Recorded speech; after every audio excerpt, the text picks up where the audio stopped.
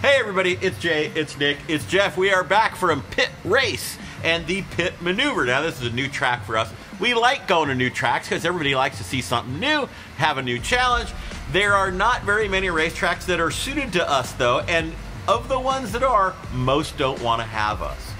All right, in addition to the new track, we had a lot of new stuff. One of the themes that was new and kind of awesome, Mr. Rogers Trolley showed up with elbows on the wheels. That was good. Fantastic.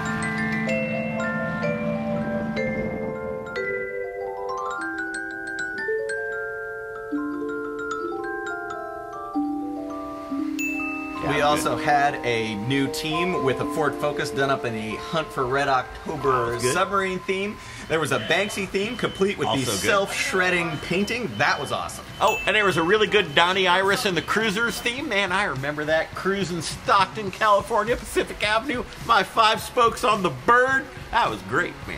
Man, my dad had on the radio in a 65 Corvette. I Yeah. could see the dash. Yeah. Listening to that. Ah, I've never heard this song before in my life. I, I think it might have been before my time. Hey, John, you're a young guy. Do you remember this song?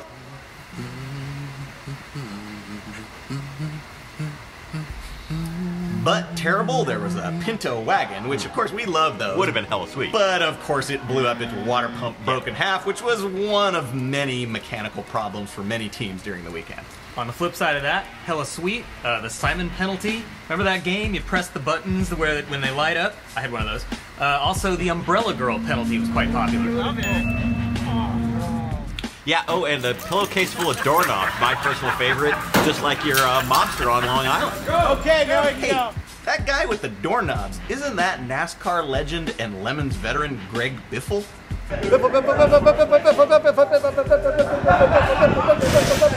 Hella sweet, Three Pedal Mafia threw a prom on Saturday night. Yeah, you know, I, I nobody asked me to go to prom, but you know, I was I wasn't planning on going anyway, and it was fine, and I actually had more fun than people that went. Silly Nannies was at this race, and they've come back many times, and they're always trying to find the weird little loophole that stretches the rules, and is going to be the secret that makes them win. And it's always some illegal fueling thing that gets caught in tech. And this race was no exception. One of their three cars totally got busted for an illegal fuel tank modification. The thing is, is when they stop trying to worry about how they're going to cheat to win, they can actually win. And their other car, this Ford Mustang, passed tech with no problems and went on to win the race. I got screwed, went to Mome Rath Racing. Now, they almost won this race. They did really, really well. Saturday night, they were up until 3 in the morning fixing somebody else's car, replacing the clutch and fabricating parts on somebody else's car so that they could take their tires to finish the race on Sunday. Then it rained all day Sunday. They did not need the tires. They were up for no reason all night long, and then they did not win in the end by like two laps. Heroic Fix went to the glue sticks. Apparently, they broke their axle. They went to a junkyard. But it wasn't just any junkyard, it was a junkyard full of cows. Judge's choice was the drive-by. They brought essentially a brand new Cadillac with a Northstar. I mean, this thing Yeah. was perfect. I was out there on Friday on the test day. I just thought somebody's grandma was driving around their car. No, no, that was their race car. We made them take the interior out because they hadn't. They went around, they raced, the car was great.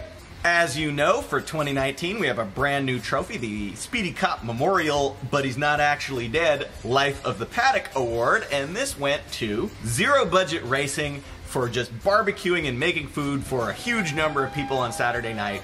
They got the trophy. I suck at driving, and I apologize. The first of two special awards was the winner of the TR8 Challenge. Now, a little bit of background on this. A few weeks before the race, one of the teams that races a TR8 in Lemons, it's amazing there's Yeah. more than one. Yeah. He emails me, he's like, man, there's so many TR8s and Lemons, I want to host the TR8 Challenge. And by it's a- so many, he means three. Yeah, well, you know, Yeah. that's, That's a a lot. lot. Yeah. By TR8 standards. Yeah. So he says, we're going to have all the TR8s come to the Pitt Race, and there's going to be a race within a race for supremacy among the finest Triumph sports car made in whatever year that was.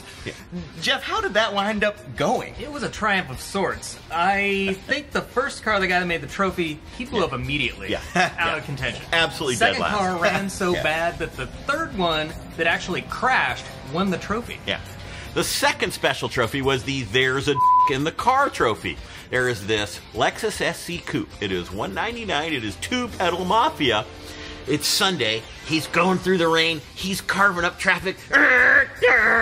Fastest part of the track heading into this hairpin, and all of a sudden, a rubber penis falls out of the top of the cage in the driver's lap. The driver's, ah! Rubber penis! Ah! Crash!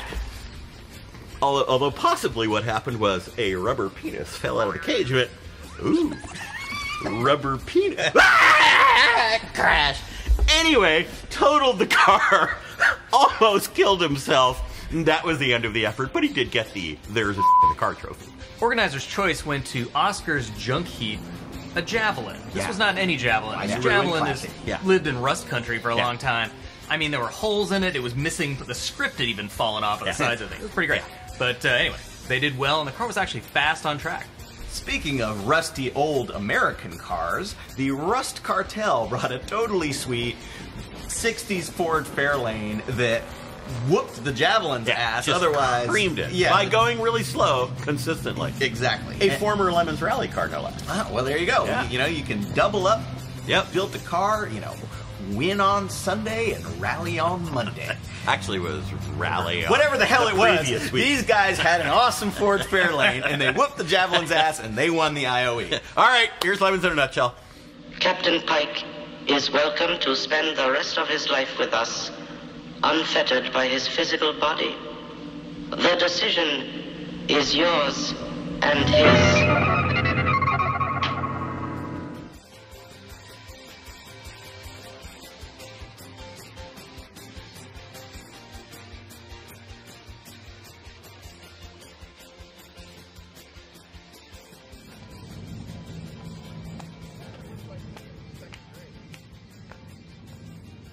Don't be stupid. No stunting in the pits. Wu Tang's for the children.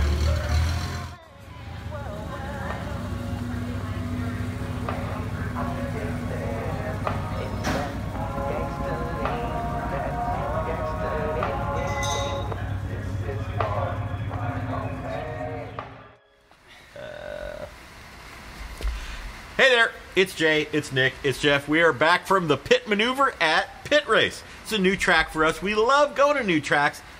Why am I wearing these? I don't need to read anything. We don't have cue cards. I'll start over.